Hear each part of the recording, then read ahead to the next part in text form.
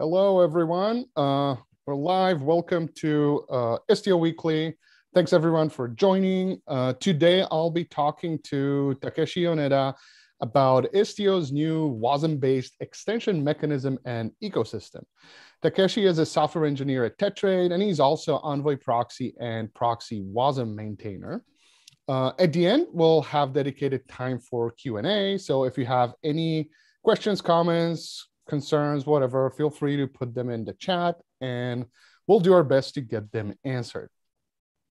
So Istio 1.12 was released uh, last Thursday. So that release includes a new powerful extension mechanism for adding custom and third-party WASM modules to your Istio service mesh. The new WASM plugin API allows you to uh, configure WebAssembly plugins. And using that same resource that's called WASM uh, plugin, you can easily deploy custom plugins to either specific workloads or to the whole mesh. One thing to note here, this functionality is still an alpha. So if you have, if you decide to play with it, and if you have any feedback, uh, istio.io and uh, provide some feedback there uh, for the functionality. There are also other things uh, uh, that were improved. Um, one was in the telemetry API. So back in 1.11, the telemetry API uh, and telemetry custom resource definition were added. Now, in this version, the support for configuring metrics and access logging was expanded. So this means now that you can use the telemetry resource to um, enable or disable access logging and configure metrics, for example. There's also some improvements that were made to uh, Helm installation. There's also support for Kubernetes Gateway API and a bunch of other fixes and features. So you can get the full announcement on istio.io and we'll include the link in the video description. One more quick announcement before we go to the main topic. We've opened registration for Istio WASM Extensions Workshop. So this is a free and live workshop on WASM in Istio and Envoy. In this workshop, you'll learn how to create your own WASM, plugin, WASM plugins, how to use them to expand the capabilities of your service mesh, We'll also talk about how Istio manages WASM, plugins, how you can deploy them. We'll talk about best practices for writing plugins. And of course, there'll be plenty hands-on labs uh, for you to try things out and talk to uh, experts. Speaking of experts, uh, I have Takeshi Yoneda joining me today. Um, Takeshi, together with Lejean and others, was instrumental in making the new WASM-based extension mechanism feature work in the latest Istio version. So I'll hand it off to Takeshi to share his screen and he can start with his presentation and tells tell you all about these uh, awesome features that he was uh, working on. So I'll stop sharing. Sure. And okay. let, let you do your thing. Right. Can you see my screen? Uh, yep. Okay, cool. I Let think you can, if you can just make it. Uh, okay. Perfect. Yeah. Perfect. Okay, cool. Hello, everyone. And I'm super excited to be here because uh, we finally reached this milestone, right? Istio 1.12 will come with, is coming with WASM-based extension as a first-class um, mechanism in Istio. So this is one of the most anticipated feature in Istio. And that is uh, today's topic. And um, let me change my I think. Okay, cool. I'll go with this one. Okay, um, let me um, talk a bit about myself before we dive deeper into the main topic. I'm uh, I'm Takeshi. I'm uh, working at Tetrate and maintainer of Envoy, and notably, I'm the maintainer of WebAssembly related code base. And also, I'm the maintainer of Proxy Wasm project, where I've been creating uh, multiple language SDKs, including Go and Zig. And also, I'm contributor to the TinyGo, Ziglang, of course, Istio, and Chromium and V8 and etc. And um, I'm super excited to be here because this is one of the um, I've been spending 50%, more than 50% of my time on this project. So yeah, let's get started. And um, before we uh, dive deeper into Istio and Envoy WebAssembly plugin system, I think we should talk about WebAssembly in general and why is it important to Envoy and Istio? Why is it gaining much attention in this uh, cloud native field? So uh, WebAssembly is, uh, for those who don't know, uh, WebAssembly is a safe, portable, low-level binary instruction format. And um, if you look at the website, you would see several features that describes WebAssembly. And uh, I've listed some of them. And the first one is uh, WebAssembly is said to be fast, but it has some implication here. But so you cannot generalize this statement without having any assumption. But in general, WebAssembly's instruction format is very well designed and it's very simple and it's easy for compiler developers to produce very fast uh, instruction format or binary, right?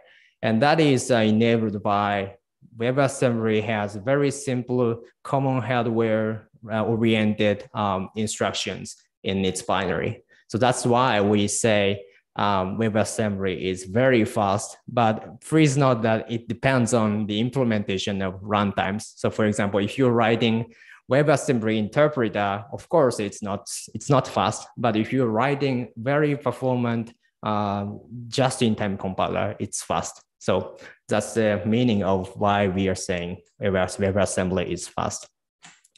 And uh, the next one is, um, you know, uh, WebAssembly is very secure and uh, very uh, safe. And there is a number of reasons why we are saying WebAssembly is secure.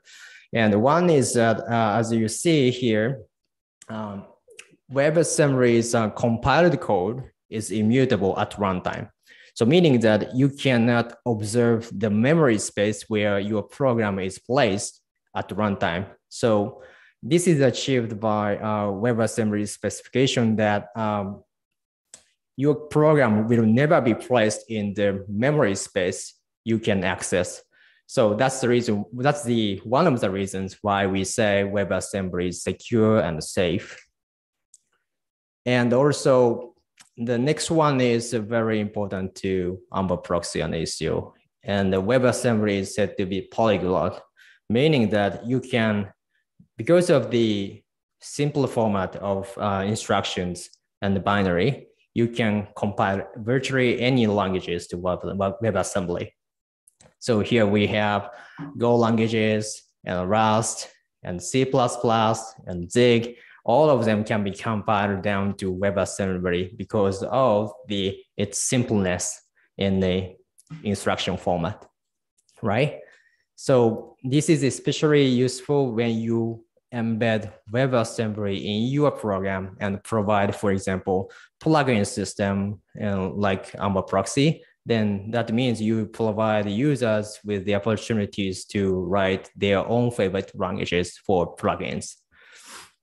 That's why we say WebAssembly is polyglot, right? And the next one or last one is WebAssembly is said to be embeddable, right? And embeddable meaning that uh, you can embed wasm virtual machines into your program. For example, in this diagram, you see that uh, Envoy proxy and Ethereum and Crossthread and anything like that, you can embed WebAssembly modules or WebAssembly virtual machines into your program and run it inside your processes in order to provide, for example, plugin system or in order to execute third-party unreliable binaries or thing, something like that.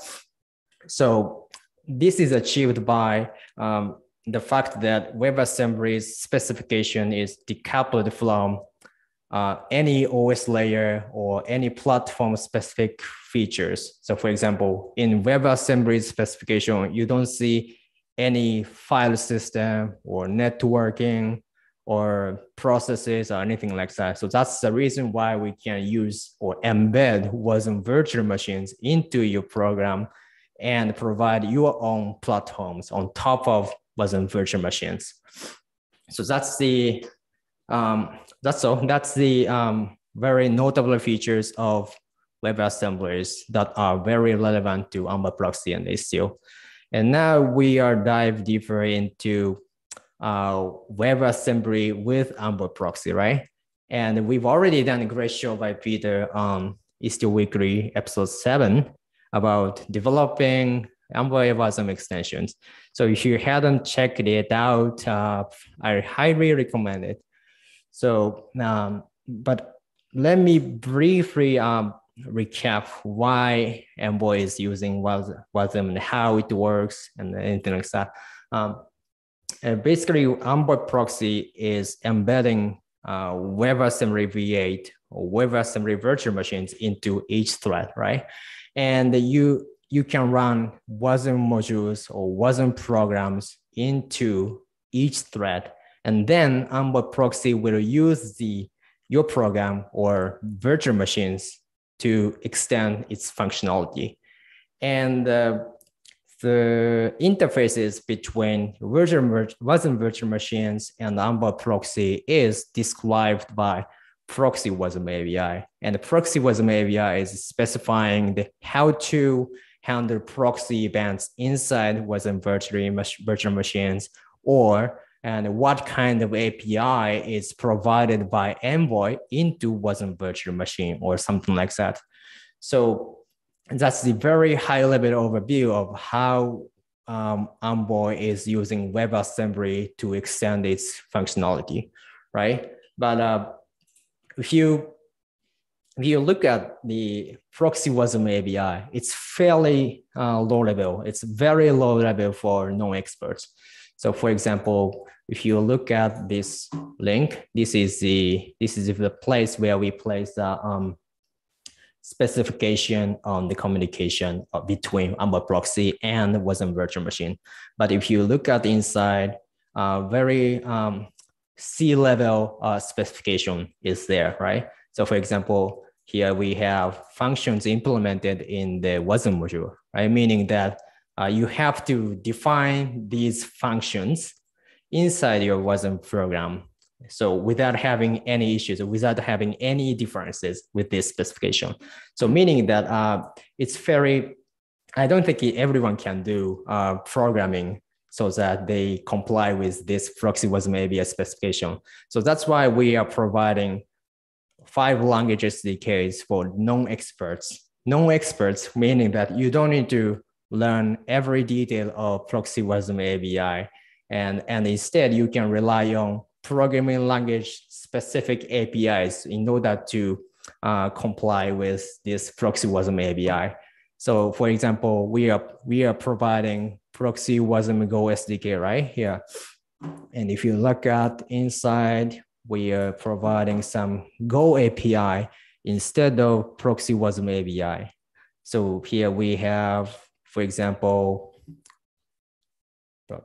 okay, cool. Here we have this function named replace downstream data, meaning that we are by invoking this function, the downstream data or the TCP packet from the downstream will be replaced by given byte array, right? So it's very simple to use. So that's why I think these SDKs are the places where non-experts can get started very easily. So um, let me do some simple demonstration of WASM in Envoy. It's not still yet, but a simple example. So let me share my VS Code, right? Okay, now here we have Go source code on the left, left side and you would see we are using proxy WASM Go SDK here and uh, several functions. And uh, for example, here we have the function named on HTTP request headers, meaning that um, it's very obvious that this function will be called in response to the HTTP header HTTP request headers arrival event, right? And inside of it, we are calling this API. And if you look at the documentation of this API, this function is used for retrieving HTTP request headers, right? So meaning that we are retrieving HTTP request headers inside of this function, which is called when we receive HTTP request headers from downstream. So, and the, these, the next lines we have, um, we are logging the headers uh, by using format function, right? And uh, please note that this function is invoked inside Wasm virtual machines, meaning that this print function is um, instructing Envoy to log this string into Envoy's log stream. So let's verify that behavior. Um, first of all, we have to build this what Go source code, right? You know, into uh, Wasm modules. So we are using here to, we are using TinyGo here. So it's very simple to use. Now we have Wasm modules, right? So it's uh, very simple, it's very fast. And if you look at the inside of Wasm module, you'd see some um, these functions called, so for example, proxy on request headers.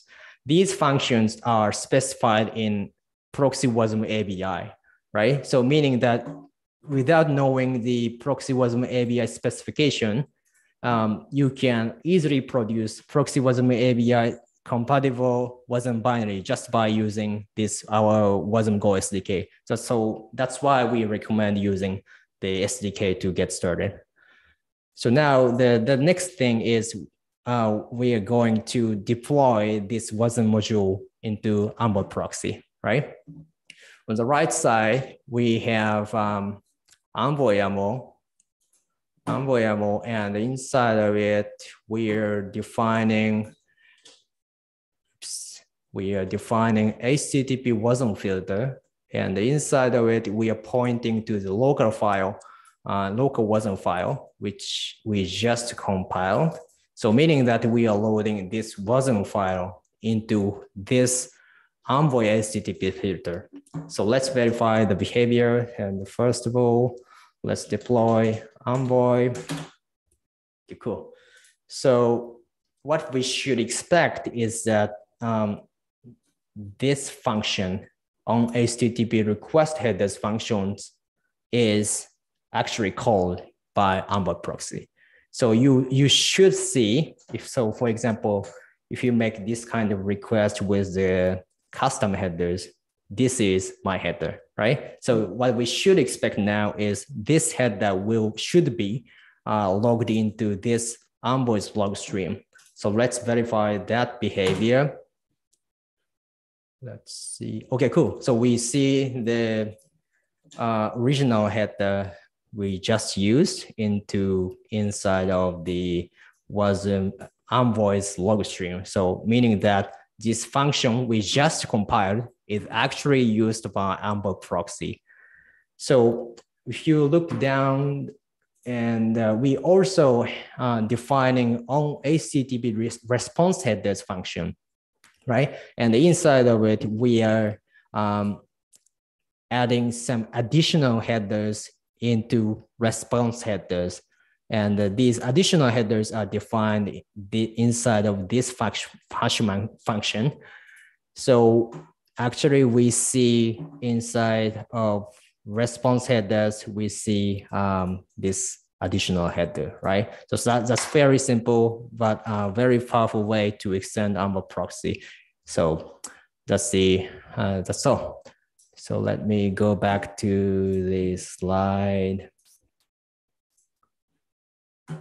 Okay, cool. So what we have done so far is uh, how to deploy WASM modules and how to build WASM module and deploy, how to deploy to uh, Envoy proxy locally, right? And so, but we are here to learn Istio plugins, and Istio API. And uh, so how can we deploy WASM modules, for example, into your production Istio cluster or maybe, yeah, maybe data center or etc. So how can we do that? So that's the topic and that's how our new uh, WASM plugin API helps. But before we dive deeper into the main topic, let me talk a bit about the history of Istio Wasm plugins, right? So first of all, uh, before 1.4, there was no mechanism. No one can do that. And uh, this was actually before I started contributing to Istio. So I have no idea what kind of conversation was there. But one thing I can, I'm pretty confident is there was some strong motivation for Istio developers or Istio maintainers to have flexible, powerful plugin system like WebAssembly because that's going to reduce the uh, maintenance burden of their own very complicated uh, Istio specific Envoy extension. Because that's why they are they were maintaining Istio fork of Envoy proxy. So right, so if we have some flexible, powerful plugin system, we don't need to maintain Envoy proxy by their by ourselves, right? So there was a strong motivation. So that's why um, in 1.5, that was um, 1.5 years ago, I think um, Envoy runtime, Envoy Wasm runtime has been released with Istio 1.5, right? But uh, even though it's announced and it's theoretically speaking, it's possible to run one uh, WASM extensions in Istio since 1.5, but uh, there was still the gap for non-experts. One of the reasons is that you have to use Envoy filter resources. So meaning that you have to know every detail of Envoy API and the Istio details and anything like that. So it's not, it's not that simple. And also you even though you can specify HTTP locations for WASM binaries, but there was a bug in Envoy that um, Envoy couldn't recover from fetch failures. So it's not it's not it's not for production usages. So that's why um, that's uh, that's why we've uh, improved Istio agent in 1.9 that was uh, half a year ago I think um, since 1.9, Envoy filter resources has been has started being intercepted um, Istio agent. So, and the Istio agent is trying to fetch WASM binary from HTTP resources instead of Envoy and load the fetch binary into Envoy proxy as a local file. So that's how Istio agent has resolved the fetch failure issues that has existed uh, since 1.5. But, but you still have to use Envoy filters, right? So it's not for everyone still, right? And also you have to host wasm binary by yourself. So um, it's, um, it's, not, it's not easy to use, right? So that's why we've announced uh, Istio plugin uh, first class wasm plugin API in 1.12, which is the latest release. And then now, thanks to this first class plugin, you don't need to use dirty Envoy filter. So on the on this slide, you see some example YAML for WASM plugin API, and inside of it, for example, we are using selector API and inside of it, we are specifying the labels that you that um, to specify the Kubernetes pods that where you want to deploy WASM plugins. And also, we have started supporting for um, OCI images in URL fields. So meaning that you can host any um, any WASM binary in any OCI registries meaning that you don't need to host uh, WASM binary on HTTP locations for remote fetch. So that's very simple to use. So how does this work is it's very simple. It's almost same as 1.9. The only difference is that Istio agent is trying to fetch WASM binary from any OCI registries. So that's how it works. So um, it's very simple. And now um, let me explain how to deploy WASM plugins in Istio 1.12. So how does the workflow look like? So first step is very simple. Uh, as I did, write WASM extensions with your favorite languages And the next one is build wasm binary as I did with TinyGo.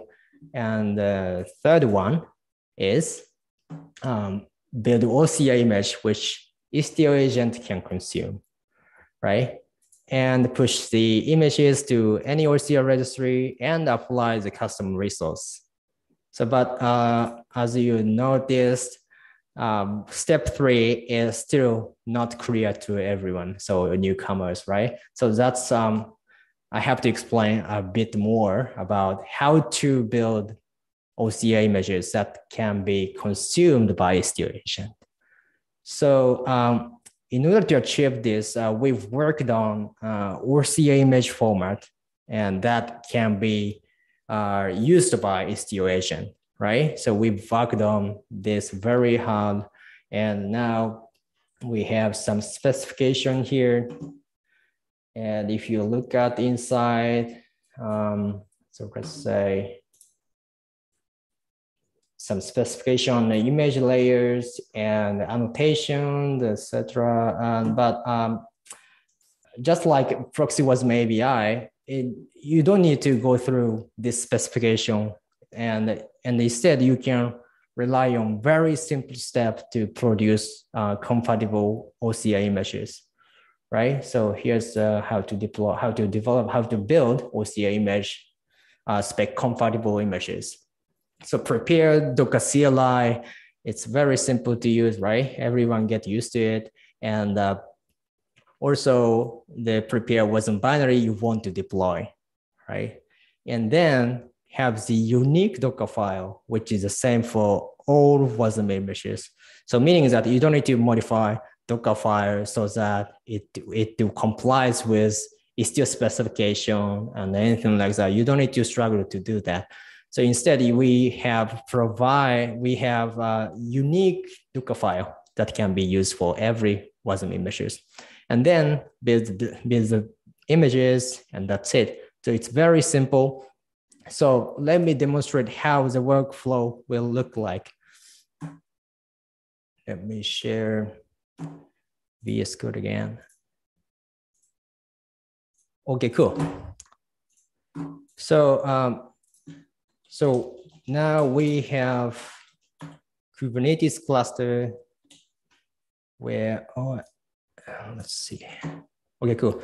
Now we have Kubernetes cluster where I deploy Istio, right? Well, of course, it's um, 1.12. And also I have deployed uh, demo application where Istio sidecars are already injected. So what we want to do is the wasm plugin we just demonstrated into this application container. So first of all, we've already built the wasm binary.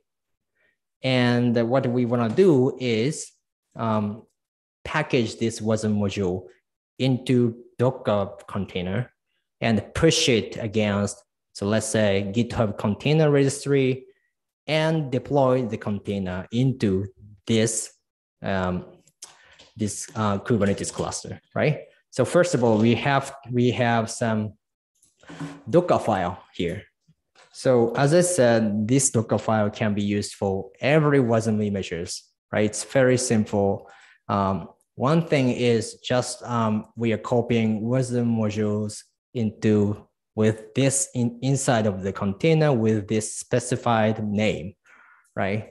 And some you have you don't have to modify this Docker file, so just use it. So one what we are doing is just build the Docker image with this Docker file. So I am using GitHub container registry with Tetrate labs and blah, blah, blah. And I tag this container with V1, right? So let's build it. So now we have copied wasm module inside of this Docker container. So the next is the push the container against container registry, right? It should succeed. Okay, cool. So because um, this Docker file is very standard, so there's no WASM specific um, concepts or modification or customization and anything like that. So you can push this container to any registry. For example, I'm using GitHub container registry here. So now the our wasm module is packaged inside of this container and the container is already pushed against GitHub container registry. So the final step we have we can do is uh, we deploy the container into the um, this application container. But before we deploy, before we deploy the wasm plugin, let's um, check how check um, the application is actually working. Okay, cool. So it's working. So now we are deploying wasm plugins from OCI registry. So now on the right side, you are seeing YAML file where I specify labels as HTTP bin, meaning that I am going to deploy this wasm plugin against this application container. And and below of the selector, we see a URL field where I specify GitHub container registry and blah, blah, blah, and V1. Then this location is exactly where I push the image against, right? So what we should expect now is to, after deploying this plugin YAML, we see plugin resource is created with this container location. So what we should expect now is our wasm plugin, we just packaged it into Docker container should be deployed into that application container. So in order to verify that, I am making HTTP request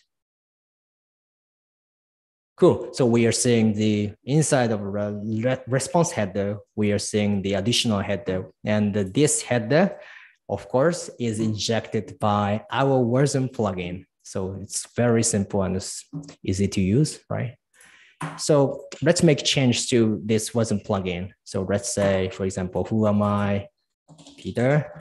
Cool. And Istio weekly, uh, episode 14 right? So, so let's reveal our wasm plugin, right? And uh, let's build the container again. So, but this time we should tag this container with other another tag, right? So let's say v2, okay, cool, and push it v2 container Okay, cool. And now we are modifying wasm plugin API so that wasm plugin API is using our new container. So let's modify this to v2 container. And what we should do now is deploy wasm plugin. Cool. So now we should expect is wasm plugin is redeployed and this new these new additional headers should be added into your response headers, right? So let's let's verify that.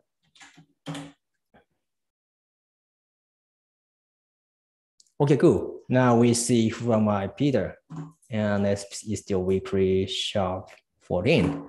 So what we have done is modifying wasm module and package package into Docker file and Docker container again and push it and modify the custom resource. And uh, then, then wasm new wasm modules are pulled into was Envoy containers and deployed. So it's very simple to use. So to wrap up, um, the uh, in order to undeploy or delete wasm modules, uh, the only thing you can you have to do is just delete this wasm plugin resource because all the wasm modules are managed by this custom resources. So, and Istio, Istiod is watching these custom resources and um, if it's uh, if it's gone, then wasm plugin will be um, will be undeployed.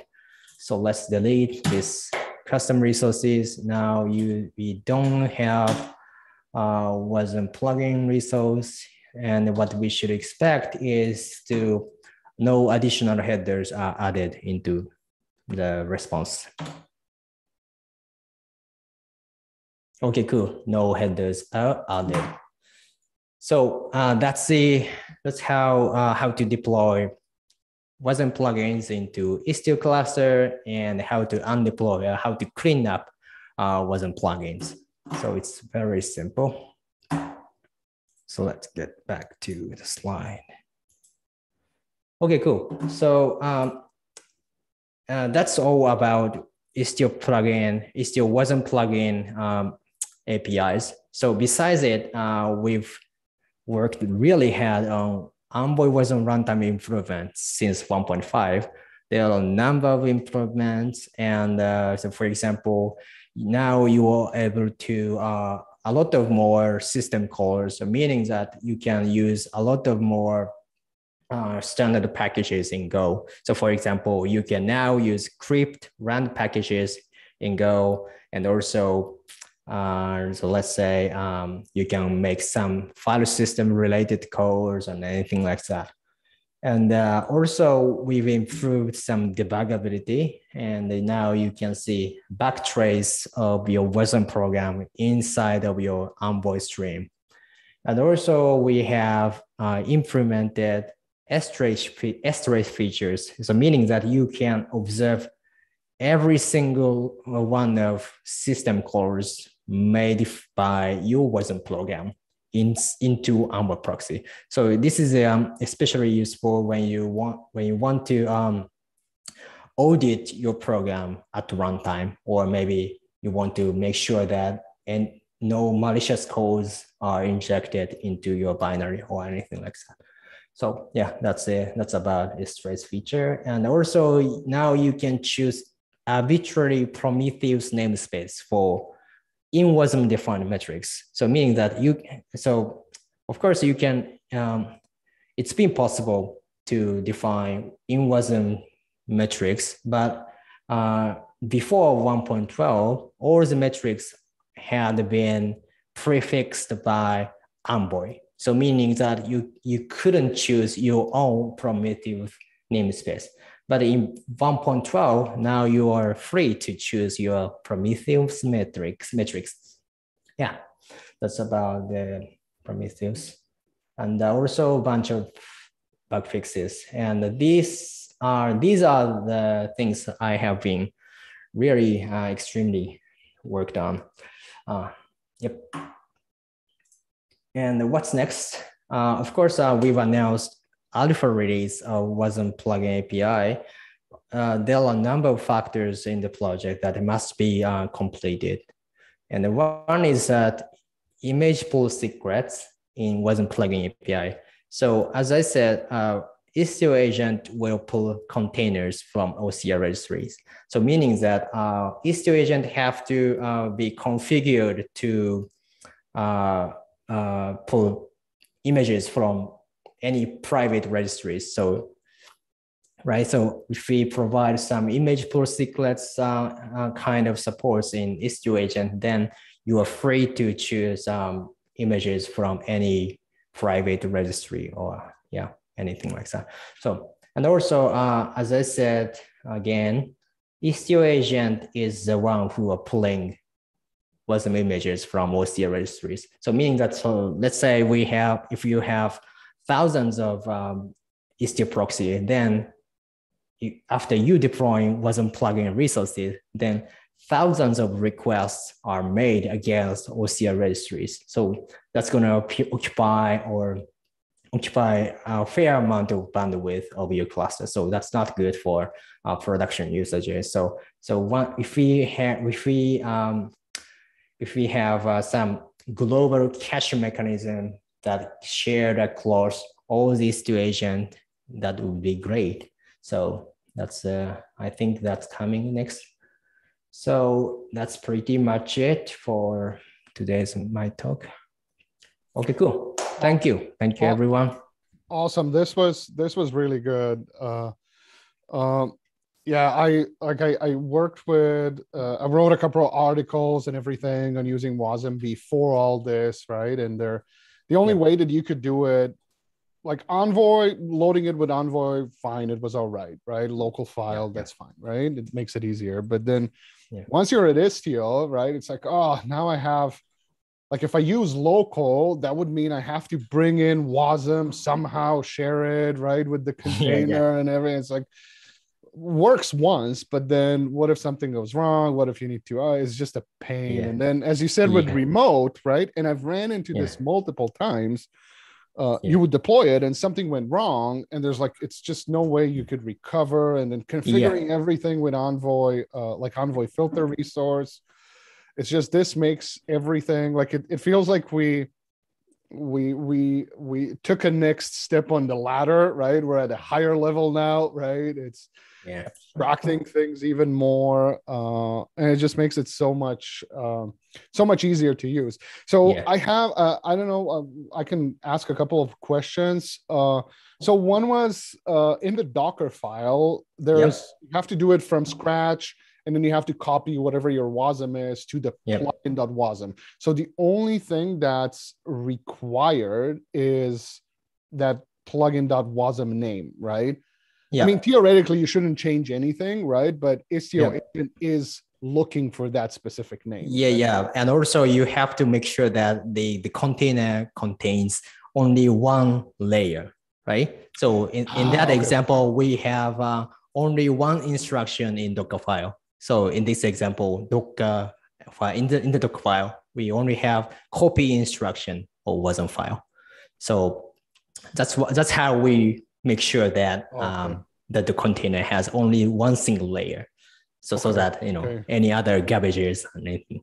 Yeah. Yeah. Yeah. I, am just thinking how, uh, does that have any like let's say is are there scenarios where i would want to like have like a configuration like external configuration for my inside a con- container yeah yeah for example i i think uh yeah i think that a and sooner or later someone will ask that right but uh but we I was have first. Pro- I was first. yeah yeah yeah yeah I know but uh, but you know first of all you can configure what you can give configuration via wasm plugin API right you know that. So uh, yeah yeah yeah yeah. Okay so that yeah that was like you you you answered my next question. There's like in the wasm plugin api one thing that we saw was i mean there was a workload selector which makes sense right? Which allows yeah, you to yeah, yeah, basically say apply this plugin to uh-huh. these workloads right? There's also the url and is there anything else uh yes anything else? yeah Okay, I have. I, inten- I intentionally avoid, you know, introducing some complexity in my slide. So, but there's some other fields you can configure. So please check it out the on the documentation yeah. on the istio.io website. Yeah, yeah, yeah. I just, I just open. Uh, yeah, yeah, yeah, yeah. I just opened the documentation. Yeah, yeah, yeah, yeah. yeah. You can, can configure a lot of things like phases or priority is one of the most important things in the documentation. Yeah, so I think I think I've shared it. Yeah, so selector we've seen URL right, which makes yeah. sense yeah. Uh, to what you want to point. SHA uh, image pull policy interesting because I mean yeah. not in, interesting in a way because it is it is in the end a an image right so yeah, yeah, yeah, pull secret. I'm assuming is this secret is here, but it's not implemented. Not, oh, okay. So I think we should remove from this documentation. Okay, okay. there, that's a free, like a free bug for someone if they want to yeah, yeah, yeah, yeah, remove yeah, it, right? yeah, yeah, free yeah. issue, free contribution to yeah, Istio. Yeah, yeah, Uh, verification key plugin. Okay, so it's probably plugin config, yeah, yeah. right? One. I'm assuming. Uh, all fields. Oh, okay. So they just do like key value pairs or something. Yeah yeah. Oh, okay. Oh that's awesome. Also yeah. one like one last question before we go. Um what's the uh like let's say uh something goes wrong right? Uh yeah. how is how does that error manifest itself? Will my yeah, will the container yeah, fail so sidecar fail a, or? That's a very good question. Once your program crashes then every after coming request will fail so there's no program recovery mechanism inside the Envoy proxy. So that's how that's what we need to solve, but it's Right. very complex, right? We so should we restart VM or just leave it alone or so it's um, oh, okay, okay. So it's like a very figure. complex issue. Yeah, I, Yeah. I think I should I should figure out, but Yeah. So it's the almost moment if, once once your program fails, then all of your after coming requests will fail. So yeah, that's- yeah, yeah, yeah, yeah, yeah. That yeah, that makes sense. But your container will keep on running in a way. yeah, yeah, yeah, yeah, Yeah. So? But then if uh, uh, what happens if the uh, image pull fails? Image pull fail, then Istio agent will report back to Istiod as the XDS error. So never uh, filter chain, filter chains will never be created.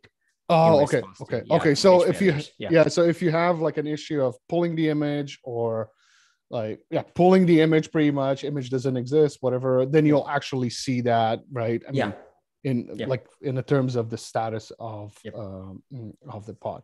All right, awesome. Uh, thank you very much for doing this. Uh, we'll be back in I think two weeks from now, and then uh, uh, everyone who joins will be able to uh, help me set up external Istio control plane because that's the next thing that we'll talk about. I think. cool. All right, everyone. Thanks, and Thanks. see you next time. Thanks, Takeshi. Thanks.